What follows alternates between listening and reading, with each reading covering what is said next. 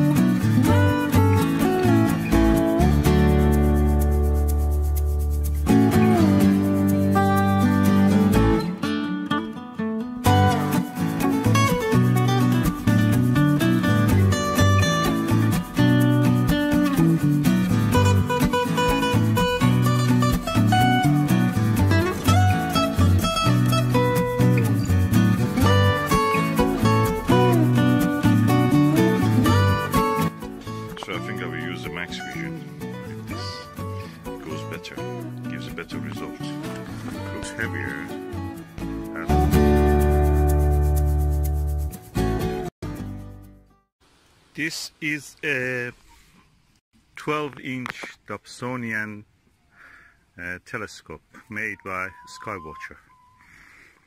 And as you can see, it's quite large. But this is not the whole length of it. When you extend the length of it will increase to 150 at the moment it's just around yeah the height is around 1 meter 10 let's extend it and see how it is.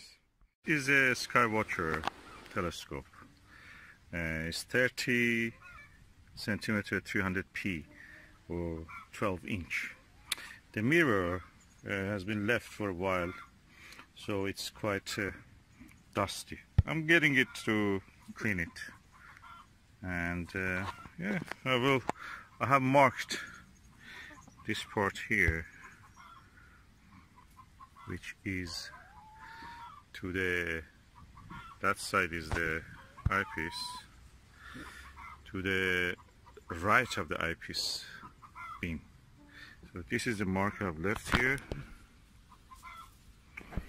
And I'm now going to open it by removing these screws from here. Let's do it. Removing the screws, I'm careful. I hold the tip of this with my hand um, and with the other hand uh, I turn the screwdriver. So the tip of the screwdriver is in my hand. I'm careful that it doesn't scratch anywhere else. Okay, as I'm um, removing the mirror to clean, you can see our chickens, which are astronomers, who are astronomers, have gathered around us to help me probably, you know, finding the screws if I lose them.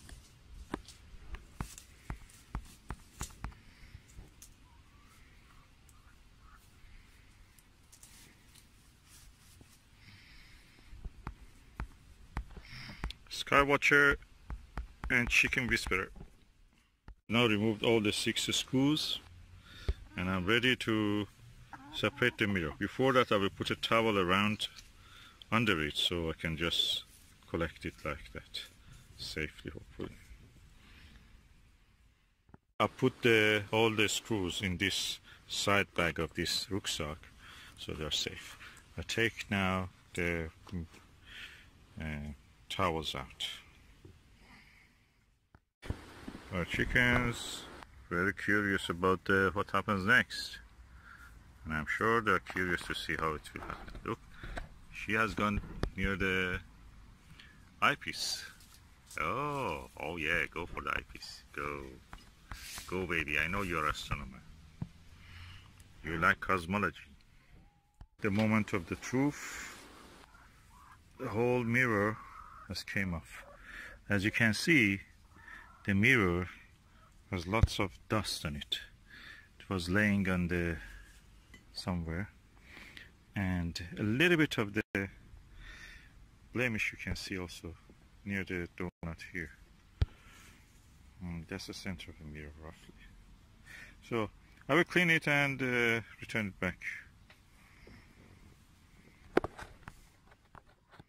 And that's how the inside of the tube looks now after I remove the telescope mirror. This is the mirror of the telescope 12 inch. We have already seen I cleaning a 8 inch one. This is 10 centimeter bigger than that. 4 inch around 4 inch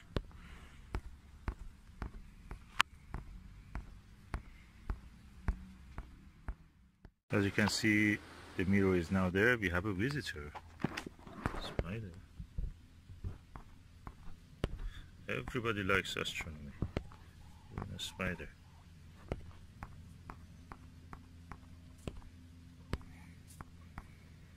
Anyway. This is the second towel and I'm going now to cover it and take it gently to home with me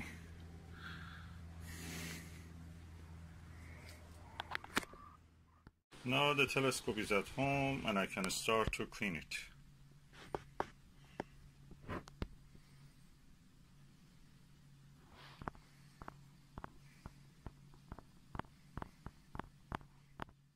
Okay, now I am uh, going to wash this. For washing first I have to remove this um, um, holders of the mirror kind of loose actually. So the mirror uh, is heavy. It was held by its own weight. So I've just removed it. First I will mark somewhere uh, and this spot something here and something here. And so I can put it back the way it was. Let me do it. There is a mark here with the electric tape and there is a marker pen sign there. So I'm now going to remove these uh, screws and safely dismantle the mirror. I have uh, loosened this, uh, removed this screw and loosened this one so it turns. I've decided not to remove them and uh, so this one of them will remain and the other one is removed and now the mirror hopefully will be able to come out. I've transferred the mirror to the kitchen. And this is the mark that I had. And uh, I will put it in the top. Uh, this top because uh, it has a plastic edge. Hopefully that will be enough. Um, I will with the lukewarm water I will first uh, rinse it then I'll add a little bit of fairy liquid and then with a little bit uh, without applying pressure I drag some cotton wool over it when it is wet and just uh, repeat it several times until the mirror is completely clean.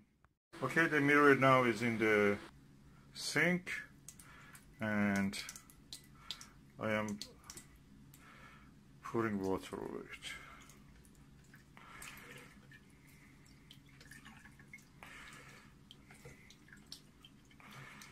Probably it was better if I could uh, uh, submerge it. Let me, I may try actually remove this bucket, uh, this, remove this and just submerge it. Let me see if I can do that. Yeah, it seems it works. Okay, now I just uh, use the water, tap water, lukewarm tap water to rinse the mirror. I can see the mark which was there is already gone. So that was just probably somebody's ice cream or donut. A little juice of it.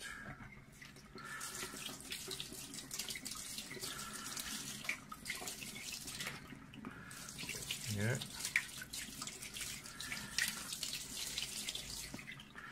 Okay, I will uh, do this. I will turn the mirror a little bit just to make sure that all, all corners of it is uh, receiving the water. This way I'm loosening the particles, dust, sand, anything that is in this surface come off. This is a 12 inch mirror, 30 centimeter, 300 millimeter, 305 millimeter. So it's quite heavy. I, I can easily say this is around 3 kilos or more. Already I see some improvement. So I'll continue. You can see now I put a plastic, uh, the plug there uh, and rubber plug and now I'm going to actually submerge now and I will stop the water now and uh, put some cotton bud. Just let them soak into the water. One there one there and one here one there. When they're completely soaked I would drag them without applying any pressure just drag them. Kind of brush movement very gentle. Trying to remove any loose particle that is already loosened by the soap and the water. I just added a few of these drops of this fairy liquid and that's it washing up liquid right, that you use for cleaning dishes in the kitchen. And now I will start to clean. Uh, what I will do, as you can see, these are completely soaked. So I just gently back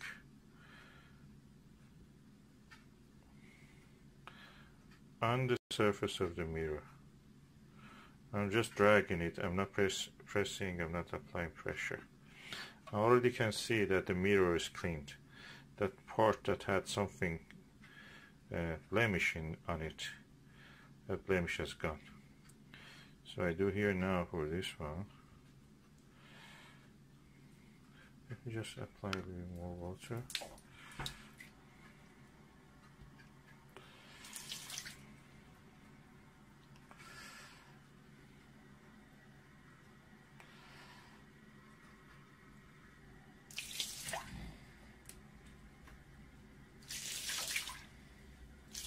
Lukewarm water, of course.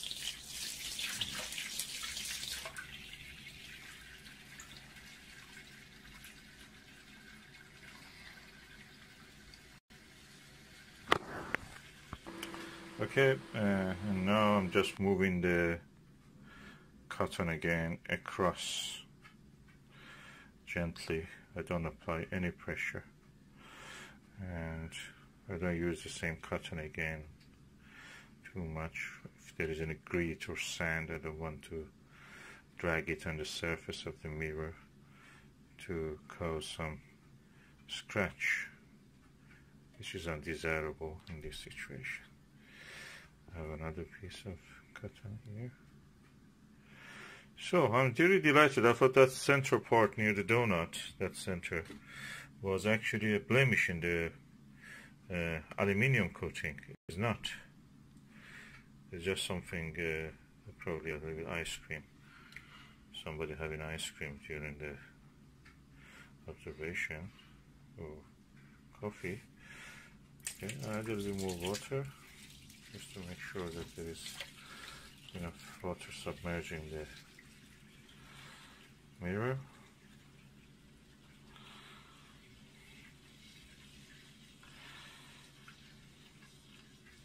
gently moving.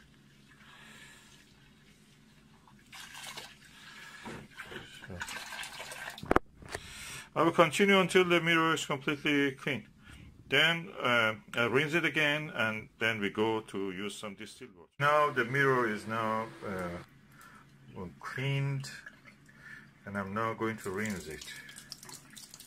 As you can see the difference is really clear. I just rinse it with the tap water then at the next stage I will rinse it with the deionized or distilled water that uh, I bought from the Halford. It's a car, uh, car shop, like a supermarket that you buy the things for the car. Uh, it costs probably four, three, four pounds or five pounds, like that. You get five liters of it.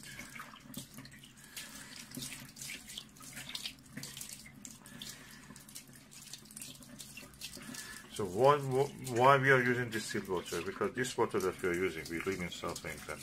The water has chalk. It leaves a lime scale marks. It will uh, leave marks on the, any object. And uh, that's the reason if you want to remove those marks, you have to use something which doesn't have any ions, any lime, limestone, dissolved limestone, any dissolved chemical in it. And that is distilled water, pure water. A simple H2O. And that will not leave any mark. Then we will let it to dry. I'll show you what I will do. I've rinsed the uh, mirror in the tap water and I'm now going to use this Halford uh, deionized uh, water which is practically distilled water uh, it's quite uh, useful you can use it for many uses as you can see here for ironing for car battery for lava lamps for steam and uh, anything else and it's five liters is the ionized water and I will use it on the mirror uh, as you can see the uh, mirror is cleaned, rinsed in the water. I use this glass just to take the deionized water and put it over it. Of course first I rinse this glass itself. Okay, this is the mirror and this is the deionized water. Just put it over it. So pushing out any other tap water just over it. I will use two more and then I'll lift it. Okay, this is the second uh, glass of the deionized water.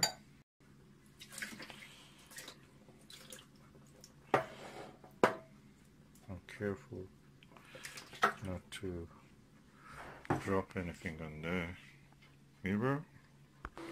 Okay, the third glass of the deionized water. Um, completely trying to rinse.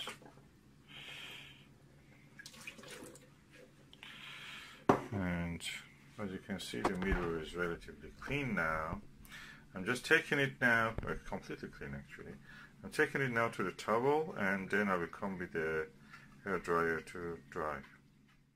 Okay, the mirror is now placed on the towel. It's completely clean. If you see the picture, uh, video, the part of the video that uh, now removed it from the telescope. It was completely dirty. There was marks here and there near the donut center. And now the, all of those have gone. What I will do now, I'll bring a hair dryer, but before that also have a tissue. I will use a tissue, lint-free tissue, just to remove any water that is here. Let's see what we can do. As you can see, I'm using the hair dryer to evaporate the water. At the same time, I can use also for the bigger drops, I can use the, the tissue just to gently absorb this. I will show you how what I mean by that. Gently absorb the moisture.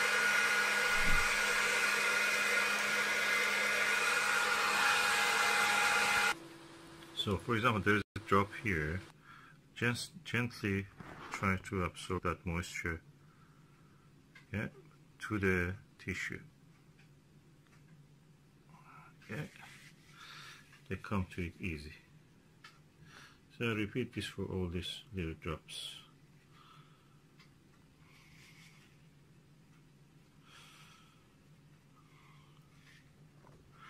I will continue to do this. Okay, as you can see the mirror is now cleaned. It's shiny. Um, mirrors over time, you know, degrade anyway. And uh, there is some effect of it anyway, you cannot avoid that. But generally, it's in better condition than it was before cleaning it. And uh, yeah, hopefully it will serve another 10, 20 years. And then probably will be recoated.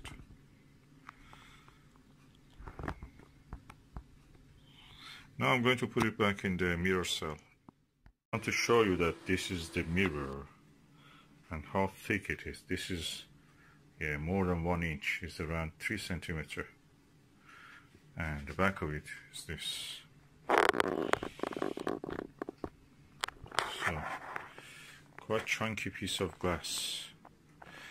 and this is the front of it as you can see it's clean lovely as you can see the mirror is now back. That's the arrow that I had. That's the mark. I have to rotate it slightly because this edge of the arrow was at this point. So first I will turn this put it here. Then I will slightly turn this mirror this way.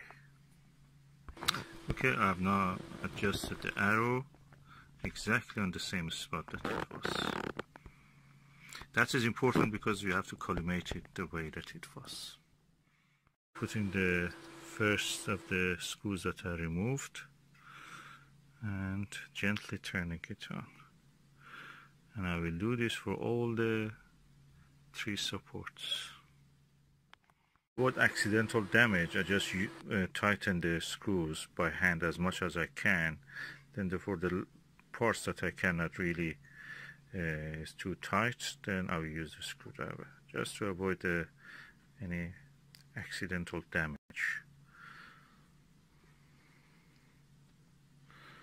So I do all this for all these screws stage I use the screwdriver and uh, I hold the tip in my hand and with the other hand I just turn the screwdriver and tighten them. Here is back the way it was. Now uh, I just use the air blower just to blow the any dust that is left over it when I was working on it. And then probably uh, because I have to transfer it to the tube and the tube is not in this place I will uh, use a uh, cling film on top of it just to make sure that there is no accidental you know damage or dirt falling on it. I just use this air blower um, and loose particles maybe removed. And I have a very soft brush also here. If I see anything that is loose, I can remove it. tiny blemishes like this one doesn't affect the performance. I just leave them. That's it. The mirror is done now. It's ready for the next stage, which is ins installing it on the tube.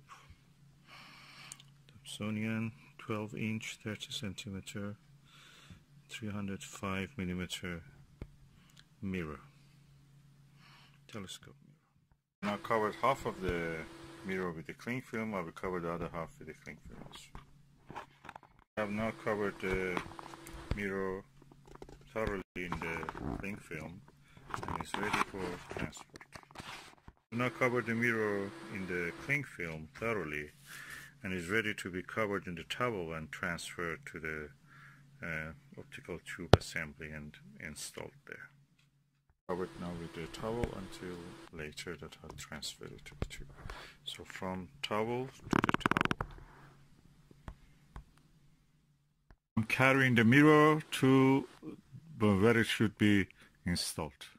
Is now here, as you can see, and it's absolutely clean. It's like new. Now I'm going to bring the tube and install the mirror. So it was a good idea to actually cover it with a um, cling film. So I have covered the end part of the uh, mirror with this plastic bag as you can see here. And I'm now going to install it. So what you see is the secondary mirror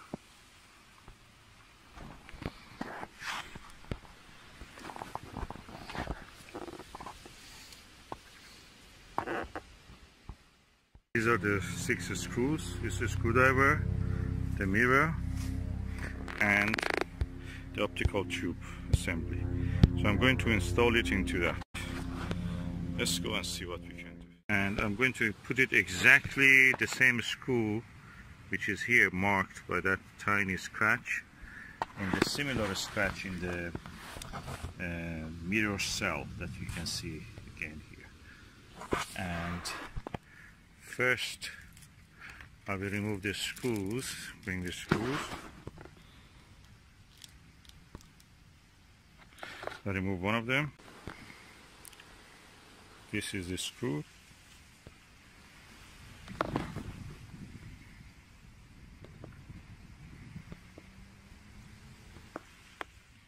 This is the screw and I'm now going to remove this cover look at this mirror. Amazing quality. Absolutely clean. I'm going to put it now exactly on the uh, same spot and position.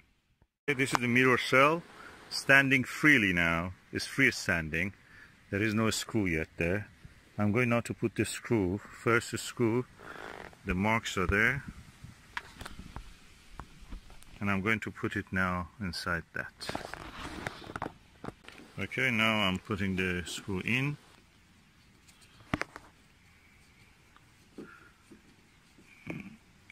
And that's the first screw. I have five more to do. Skywatcher 12 inch 300 uh, 5 millimeter telescope is now washed uh, cleaned and uh, put back in his mirror cell and at the bottom of the optical tube assembly ready to go on the mounting cradle Dobsonian telescope massive. This is the maximum that you can have as a telescope and yet be uh, movable and portable. 14 inch one is too big to too heavy to carry on. To use without any single-handed uh, or with any kind of equipment trolley like sack truck or something like that. Now I have uh, put the telescope inside the cradle and this knob which is a tension handle could be on the side which is of a Skywatcher return and if you turn you will see the eyepiece holder. So the eyepiece itself will be in this side.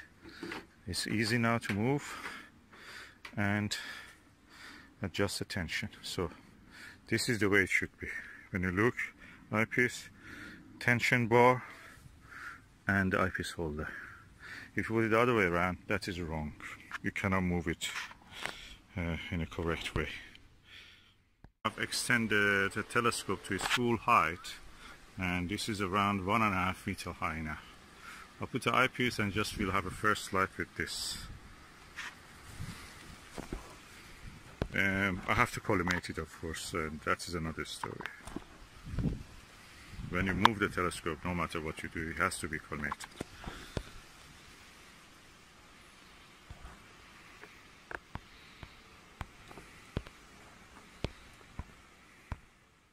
Right, I remove the um, cover.